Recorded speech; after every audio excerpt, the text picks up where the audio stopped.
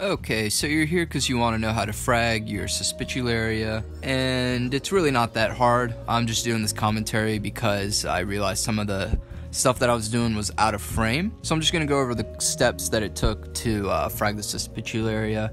Uh, you'll first see me pry it off of the rock or whatever it's attached to using a uh, smooth surface type of blade or maybe like a flathead screwdriver or like dental tools, something like that where it's not that sharp like the scalpel I was trying to use before. So yeah, that's the first step. You just need to pry it off of whatever it's on.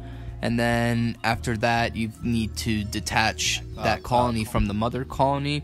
Uh, you'll see me use thread to do that. I just tie a knot on the thread and pull it, cinch it tight till the uh, little frag detaches from the mother colony. Uh, you can probably use scissors, scalpel, whatever you want. I just figured that would give me the cleanest, quickest cut. And so then after that, uh, you just need to cut up the frag. I could have definitely cut this uh, nice. It was probably like a quarter size piece. I probably could have cut that into seven, eight pieces.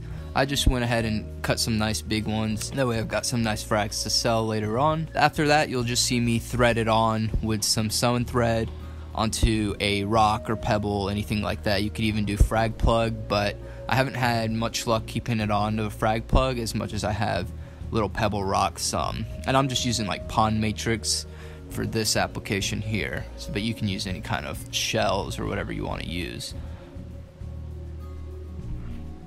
So yeah, just enjoy, watch the rest of the video. I did everything underwater, um, and then I did a water change after doing the uh, fragging. You definitely want to do a water change after any sort of fragging in your tank because the corals let out uh, just their protective uh, juices and whatnot. So that's it from me.